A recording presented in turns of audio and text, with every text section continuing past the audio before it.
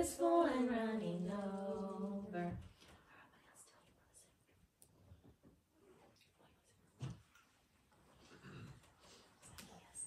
Zacchaeus was a wee little man, a wee little man was he. He climbed up in a sycamore tree, for the Lord he wanted to see. And as the Savior passed that way, he looked up in the tree, and he said, Zacchaeus, you come down, I'm going to your house today, for I'm going to your house today.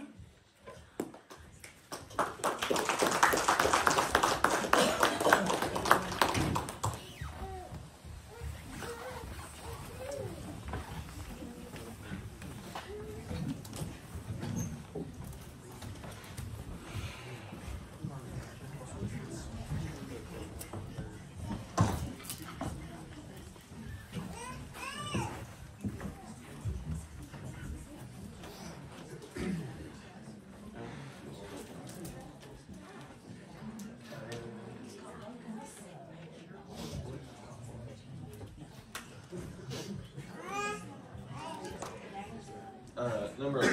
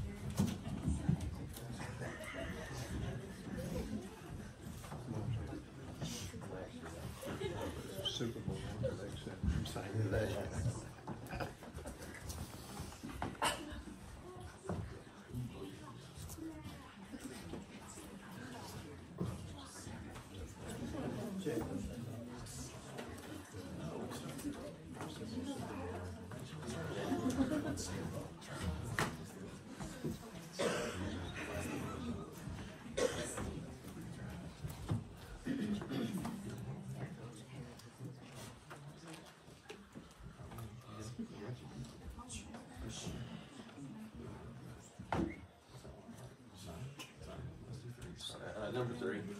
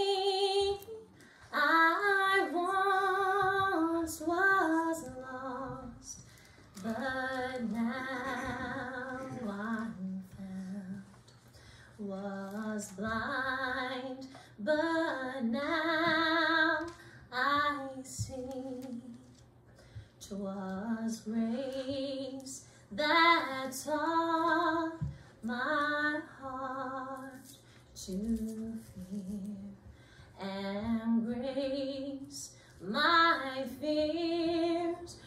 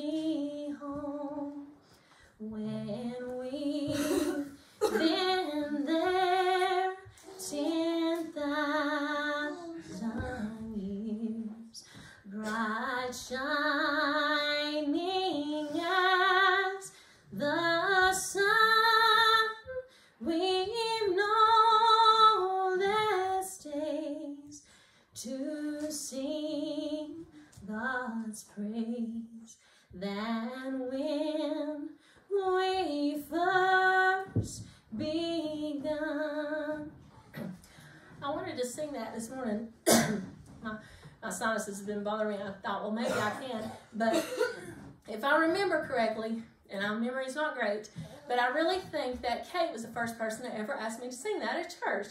And so I wanted to sing that this morning for her. And just to let everybody know, I love everybody here.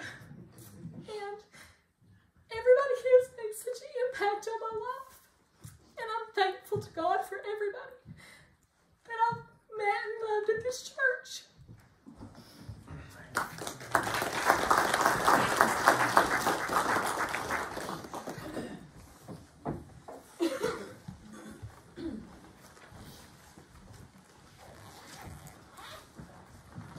Good morning. Turn your Bible to Matthew chapter 27. Matthew chapter 27, verse 32. Matthew 27, verse 32. Now we're going to look at this morning the procession to Calvary, what took place.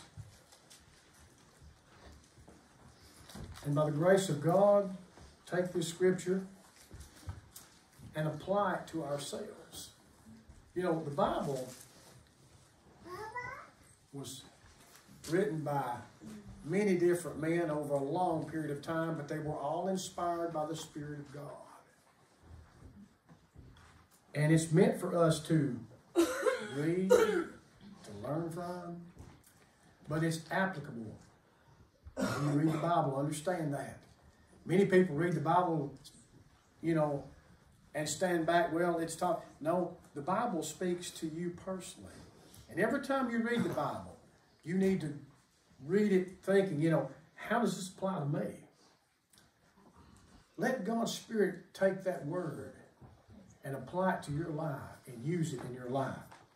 In verse 32, and as they came out, they found a man of Cyrene, Simon by name. Him they compelled to bear his cross. In other words, they didn't ask him to. They said, you pick up that cross and you carry it. There wasn't no asking politely, hey, do you mind doing this for him or do you mind doing this for us? You pick that up and carry it. Now, who was Simon? We don't know much, really, anything about him except where he was from. We do know that he had two boys that Mark refers to as Rufus and Alexander, and maybe possibly, you know, were someone more than likely that they knew in the church in Mark's gospel and his letter that he wrote. But anyway, uh, don't know much about him. Not at all. And been much speculation and thought about, well, why did they tell him to pick up that cross and carry it? The ones who was condemned, the ones that were going to be crucified, were the ones to bear the cross. Now, and I can, you know, see the viewpoints about why they did so. Uh, maybe Christ was so weak from the physical beatings. Uh, maybe he wasn't going fast enough to suit him. I don't know. But once again, you need to understand that's just speculation because the scriptures does not say why they told him to pick that cross up and carry it. Now, many commentaries and many people who study this, they will, you know, say, well, they asked him to do it because he was unable to. We don't know that.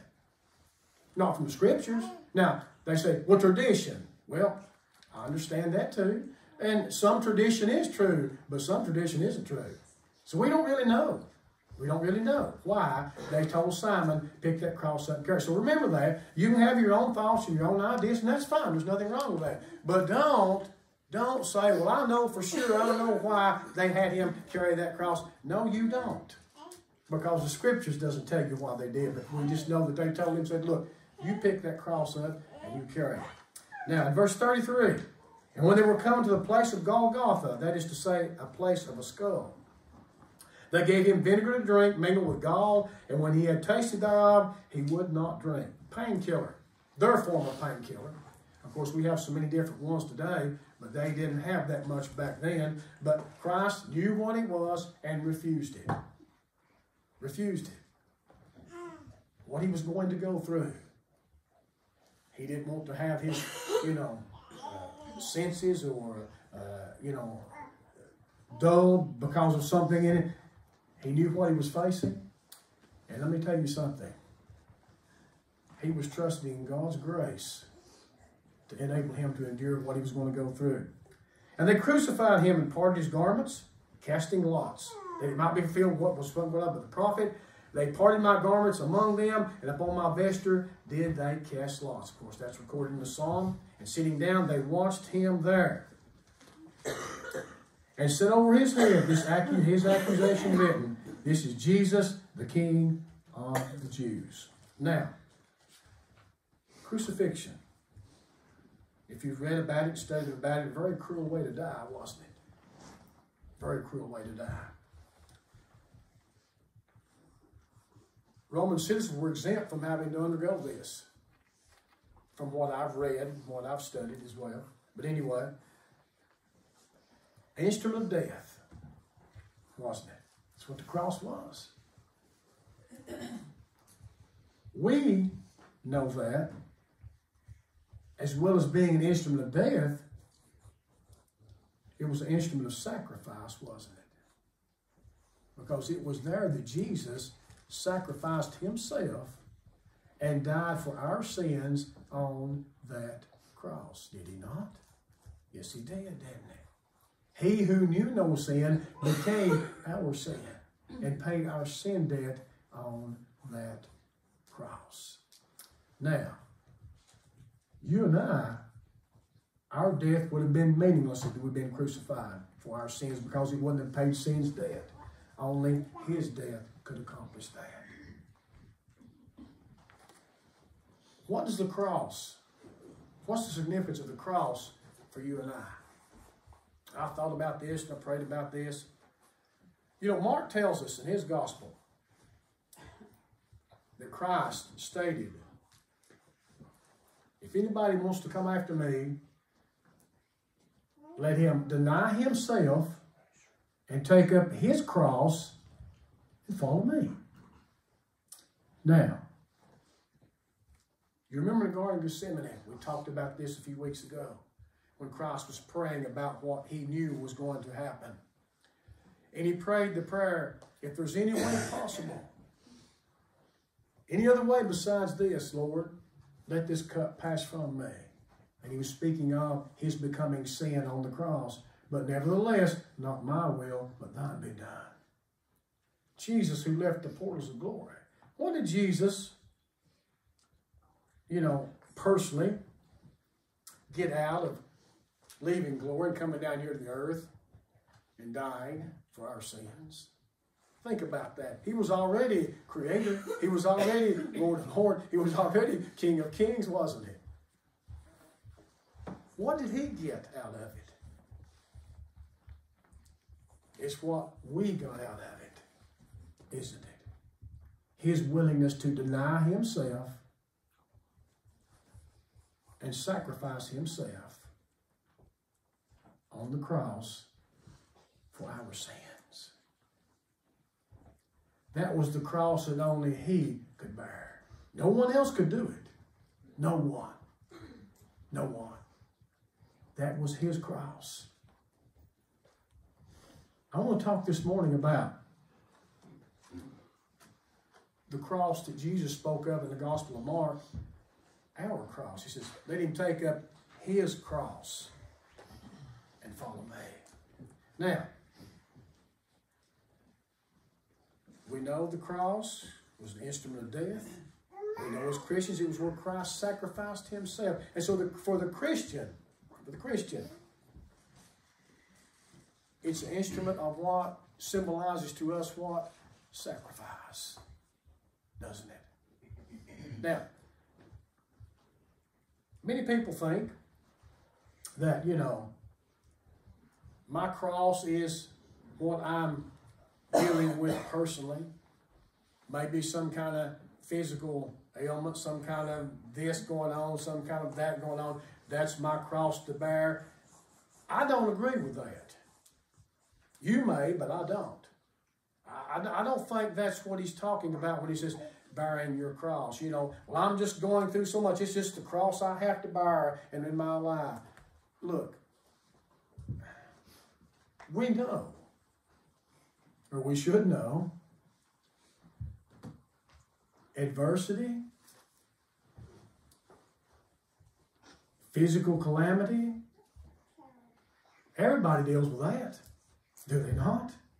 They do. Now, I know sometimes some more than others. And, you know, humanly speaking, we're just who we are by nature. We always feel like we're having it tougher than anybody else.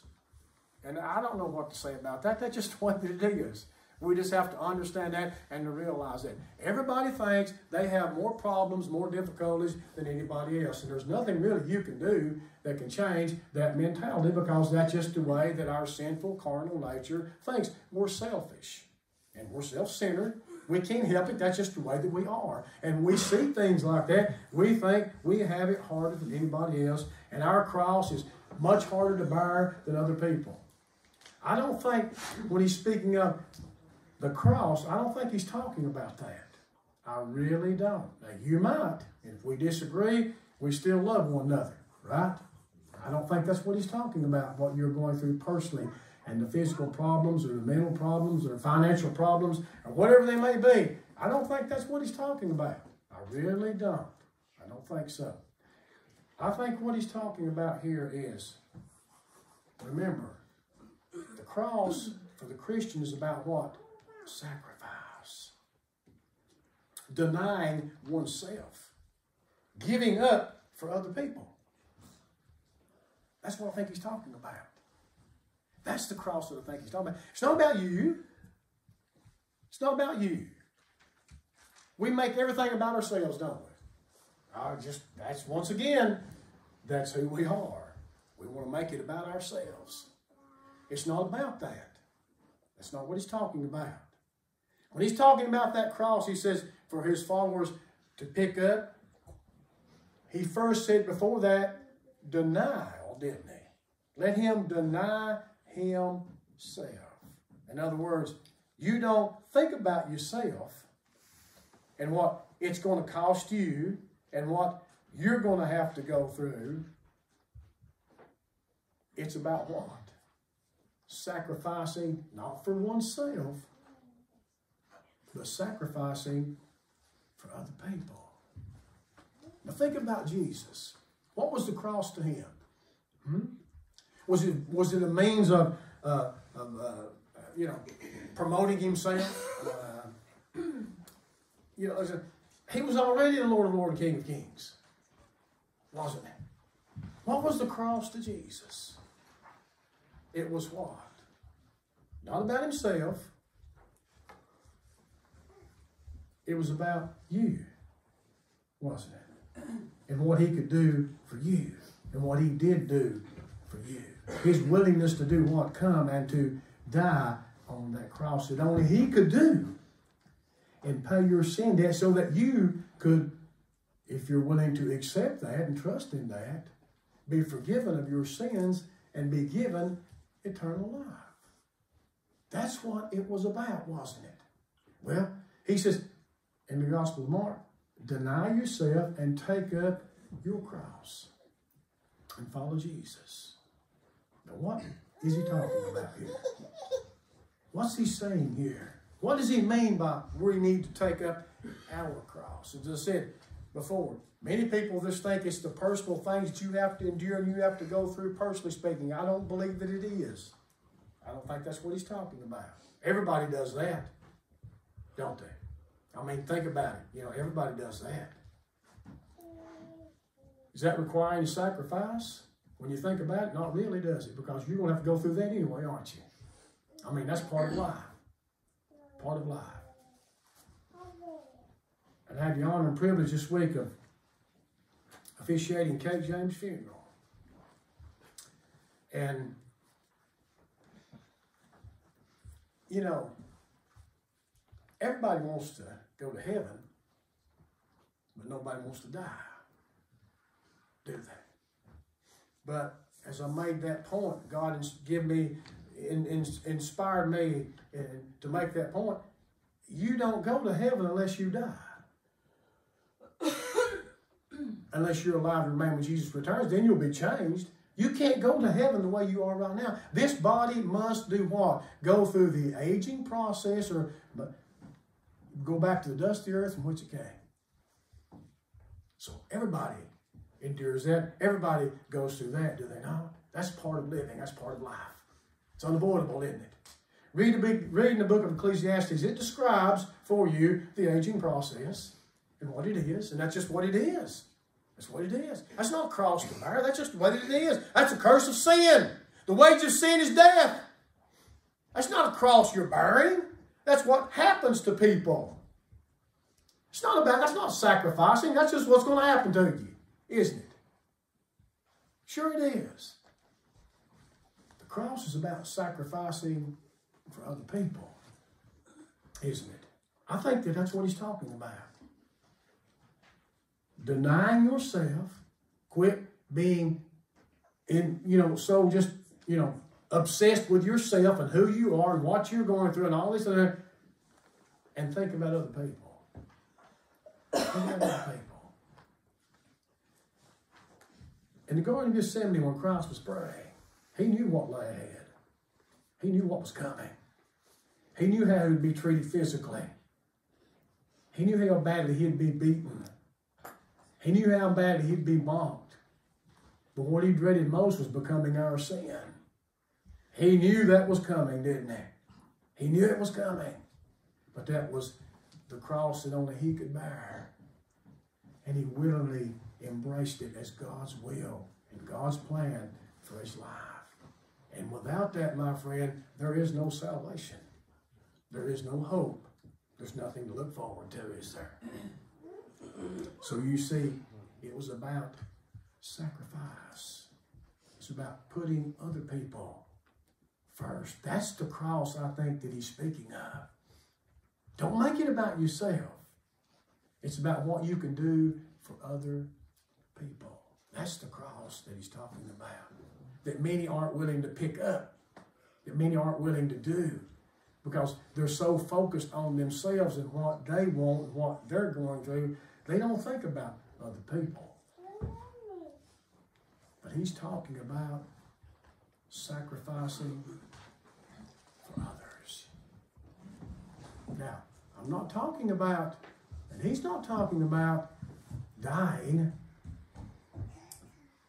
He's not talking about that. Christ died and paid sin's debt. You can't do that. The cross, I believe that he would have you to bear and have us to bear is not one that leads to the death that Christ experienced at Calvary, which only he could do. I think what he's talking about is living for him. Living for him. Turn to Romans chapter 12, verse 1. Romans chapter 12 and verse 1.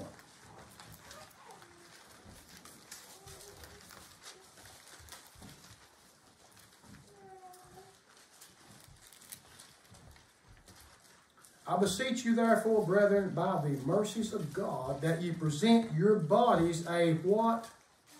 Living sacrifice, holy, acceptable unto God, which is your reasonable service. And be not conformed to this world, but be ye transformed by the renewing of your mind, that ye may prove what is that good and acceptable and perfect will of God. So, what is the cross? To the Christian that Christ is speaking of, take up your cross and follow me. What's he saying to you? What's he meaning by that? I believe that he's talking about, I want you to live for me. Live for me. Now, let me say this. that constitutes a whole lot more than just attending church on a regular basis, reading your Bible on a regular basis, and praying to God on a regular basis. Because let me say this those are things that you do for yourself. And you need to do them for yourself. You need to attend church regularly. You need to read your Bible. You need to pray. Those things are important for your spiritual growth. Those are things you do for yourself. What he's talking about is what you do for others. Many people, I think, sometimes, and this is my opinion, you can disagree with me too. And I still love you and hope you still love me. Attending church, reading your Bible, and praying, technically, when you look at it and think about it, that's not serving God. That's preparing you to serve God. That's part of worship. That's something that you need. But if you limit that to what you say, well, I'm serving the Lord, I think it encompasses so much more than that when you talk about serving God, don't you? I think serving God is by what you do for other people. That's what I believe. Now, I may be wrong, but I believe that. That's my personal view and conviction when it talks about living sacrifice. Don't just limit it to the fact that, well, I attend church and, and I read my Bible and I pray and, you know, and I, and I, I, I give money to the church. And, oh, it's much more than that. It's living for the Lord. Serving other people, doing things for other people, sacrificing for them, just like Jesus did for you. That's the cross that, that, he's talking about here. I, it, I don't think, what, what kind of burden is it when you're just doing, you know, he said, well, I go to church. My gosh. If you see that as a burden, you're about, you, you need you need prayer. I'm serious. If you see coming to church as a burden, you need to, you need prayer. Coming to church is a privilege. Coming to church is something you should want to do, not have to do. There's a big difference, isn't there? This ought to be something you say, man, I, you know, there's a difference in it. Well, I've got to go to church or I get to go to church. There's a difference in there. I think there is. I think there is. You know, this is a privilege.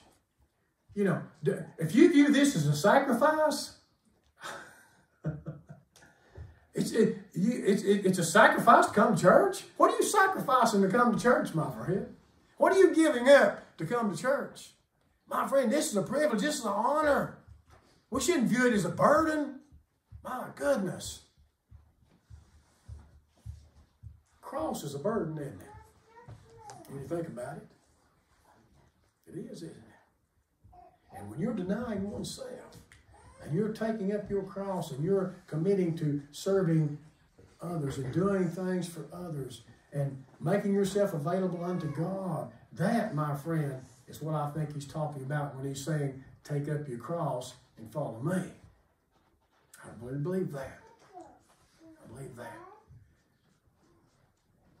It begins with your life and what you do with it, doesn't it? What do you do? What what what do you do with your? How do you see your life? What are you doing with your life?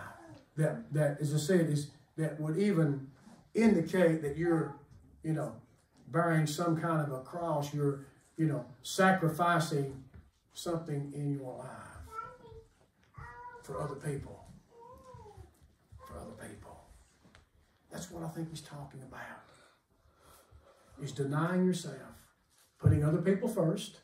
First and foremost, God comes first, doesn't it? Put God first, then you put the needs of others next, and then yours, God will take care of. See, that's the problem. I think it stems from a lack of, of faith on our part. When Christ is promising, look, you know, God knows what you need. Seek ye first the kingdom of God, His righteousness, and all these other things will be added unto you. And when you do that, you keep your promise, you'll be taken care of. God will take care of you. Won't I believe it He will. So the cross, a living sacrifice you know, we talk in terms of being a Christian, which, you know, technically when you think about it is you're trying to imitate Christ, you're trying to be Christ-like, are you not? Well, we can try. And in some ways, we resemble it. But it's impossible for a human being, a sinful human being, to be Christ like. I think it is. Have you ever met anybody just like Jesus? I've never met anybody like Jesus. I mean, we try. I try. I, I press toward the mark of high calling of God in Christ but I'm not Jesus. I'm not Jesus. I wish I was like, and I will be like him one day, but I'm not right now. I'm not even close. Not even close.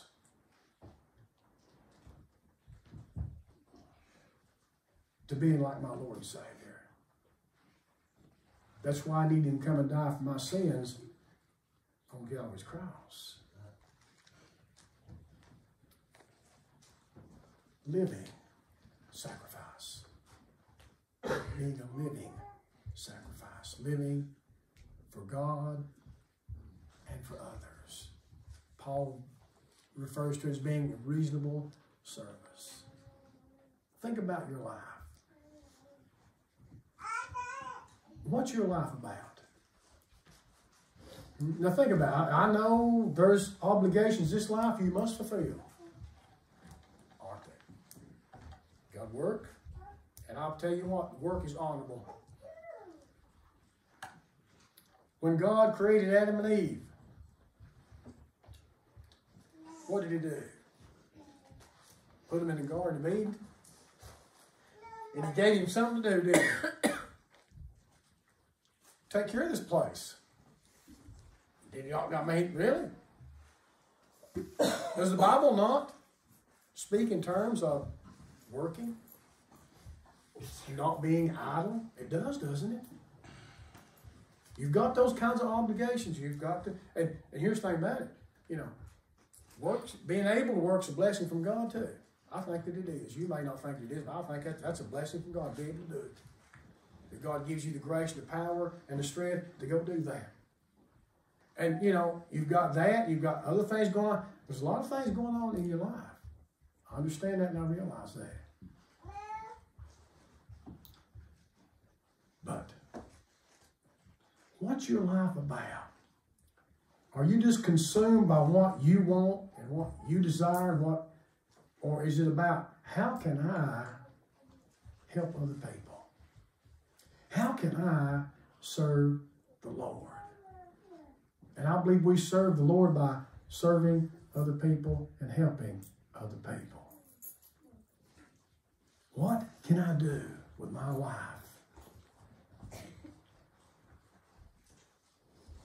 Let me take up the cross God has for me and deny myself and sacrifice for others. And here's the thing, too nobody, nobody can tell you what your cross is. Now, because I don't know. You know, sometimes we want to look at other people and maybe say, well, they need to be doing this and they need to be doing that. How do you know they need to be doing this and they need to be doing that? You don't have no idea. That's just your own personal opinion. That's between them and the Lord, isn't it? What you need to focus on is what does God want me to do? Uh, you know, that's what I need. What would God have me to do with my life? That constitutes taking a cross and following Him. And remember, that's talking about sacrificing. Sacrificing. You know, oftentimes in the scripture, many people say, I'm going to follow you, Jesus. Well, you need to understand something about following me, what's involved in it. I don't even have a home. Remember him telling one guy that? I don't have nowhere to live. You, you want to follow me. You know, people say, I want to follow Jesus. I want to follow. Do you really? Do you really want to follow him and have and have and, and, and, and let him control your life? Really? Or do you want to say, well, I want to follow the Lord as long as it goes, goes, according to what I have planned? Now, when we have a conflict, then, you know, that's where we come to the parting of the ways because I'm going my way. Taking up your cross is saying, uncondi- I think that's unconditionally surrendering. You don't put no conditions on it. Say, Lord, I'm yours. What would you have me to do? what would you have me to do? What did Saul of Tarsus say when he met the Lord Jesus Christ on the road to Damascus? Lord, what would you have me to do? What do you want me to do? Of course, we know how Paul spent his life. He did what only he could do because that was the, the cross, the sacrifices he made for other people. Well, I think there's an old song, There is a cross for everyone, and there's a cross for me. I think that's part of it. I mean, it's, it's, I've heard that song before at one time, and there is. There is. And, and don't make it about yourself. The cross is about others. For Jesus, the cross wasn't about him, it was about what he could do for you and for me. So, take up your cross, deny yourself, and take up your cross and follow the Lord. That's what the cross is, isn't it? It's about sacrifice. It's about denial. If you're here this morning, you don't know Jesus Christ as your personal Savior. Jesus did for you what no one could do, what you could not do for yourself. Because he was willing to do what? Deny himself, lay his life down on the cross, pay your sin debt that you could have forgiveness of your sins. And you couldn't, there's no forgiveness apart from that. He's the only ticket to heaven, my friend. There is no more. Only through Jesus. If you're here today and you don't know Him, God loves you. God wants to save you. God proved that love when He did what He did, didn't He? By sending Him on Calvary's cross. Put your faith and trust in Jesus. Accept Him as your personal Savior. And as Christians, as Christians, do we desire and want that cross God has for us to bear? Do we or don't we? Do we want to embrace a life of denial and a life of sacrifice? Now, let me say this that isn't easy to do. And I'm going to tell you why that isn't easy to do. Because you're selfish by nature. Everybody is. You don't have to teach a baby how to be selfish. They'll show you right quick in a hurry they're selfish. they don't learn that. They're born that way. You know, sometimes we look at people and we say, well, what happened? Well, how did they get like that? Well, they were born like that. How do you, what do you mean, how did they get like that? They were born like that. That's the way we're all born that way. Same way. And it's not easy. It's just not easy for us with a selfish nature, nature to deny and to sacrifice. Is it? It's not easy. It's hard sometimes. And on top of that, on top of that, most people don't attend church. They don't. They don't read God's Word and study God's Word when it talks about, you know, a life of denial, a life of sacrifice. It's ingrained in them by the world that we live in. That's the way to go. You look out for number one. You take care of yourself. You do what's best for you. How many times do you hear those expressions? All the time, don't you? Well, that just compounds the problem, doesn't it? When you've got people with a mentality, I'm looking out for myself, then how do you think? What do you think's going to happen? How do you think people think? This is what, you know, I'm, it's, I'm, in, I'm in it for me. I'm in it for me. So you see, it's not easy. It's not easy, is it? But I'm going to tell you this. The rewards in heaven it's not even worthy to compare what you might obtain here in this life by being selfish. And you will, materially speaking, you know, be, if you want to be selfish and self-centered, you can obtain some things in this life, materially speaking. But those things are only temporary, my friend. They don't, you're not taking them with you, are you? No. But if you realize, understand, and believe in in a life of sacrifice and denial is a life, a rewarding life. What awaits you in glory one day, but most importantly, most importantly, I, I, I really believe this. You may not believe this, but I believe this. The happiest people on the earth are people who deny and sacrifice. You may not believe that, but I believe that. I believe those are the happiest people you meet. Not the ones who live for themselves selfishly and have all the things that money can buy and all the things that the world can offer. Those people aren't happy. The happy people are the ones who deny and who sacrifice. Think about this. Where would you be if you hadn't had people in your life who didn't deny themselves and sacrifice for you? Where would you be today? It starts right back at home with mom and dad. You don't really appreciate how much they denied and sacrificed for you until afterward. You don't. Then you look back and you say, wow, where would I be today if not for them? Where would I be today? And there could be, and there's many others in your life that have done.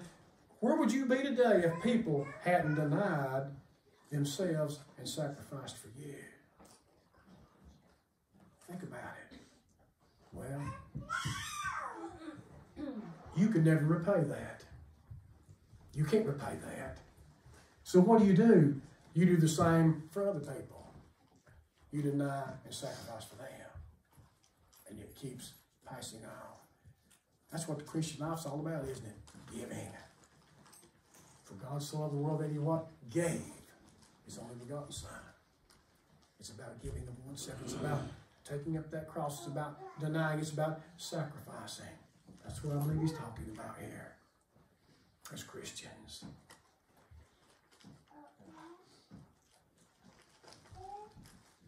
Give some thought to the Word of God today. Are you, are you living for God and others, or are you living for yourself? You know, we can convince ourselves because the way the, the ways of a man are right in his own eyes. You know, you can justify yourself if you want to, if you just, you know, you can talk yourself into it, so to speak. But here's the thing about it. When you read God's word, God's word will show you on it. It'll show you, it'll reveal to you some things about yourself. Look at your life and ask yourself, is my life about denial? Is my life about sacrifice? Is my life about other people? What if Jesus had chosen not to bear that cross for you? You know, that cross you might be bearing might be so beneficial to somebody else. Think about it. You know, maybe, maybe, just maybe, when they told Simon, you pick up that cross and you carry it, maybe that was revealing to us, you know. Now that wasn't his cross. I mean, he done that. He done that for for Jesus, didn't he? Think about that. What your denial and sacrifice, what it might mean to somebody else. Think about it. I'm talking about not temporary, but I'm talking about eternally, what it might mean for them. Just a little bit of dollar, a little bit of sacrifice on your part, what it could mean to someone else. Let's pray. Heavenly Father, thank you today, God, for this message. I thank you, God, Lord, for the grace and the strength and the power you've given me to preach this message. God, I pray today if anyone hears this message doesn't know Jesus Christ as their personal Savior, the Lord, they will turn to Him in faith today and be saved. And help us as Christians, God, to realize and to understand, God, we are to live for you. God, you paid our sin debt on Calvary's cross. You did what we could not do. God, help us as Christians to appreciate what denial and sacrifice is all about. In living for you and living for others. Lord, I pray today, if anyone here today, you're dealing with them, God, about living for you, that, Lord, they would make that commitment and say, Lord, I'm willing to follow you. I have decided to follow Jesus. No turning back, no turning back. In his name we pray. Amen.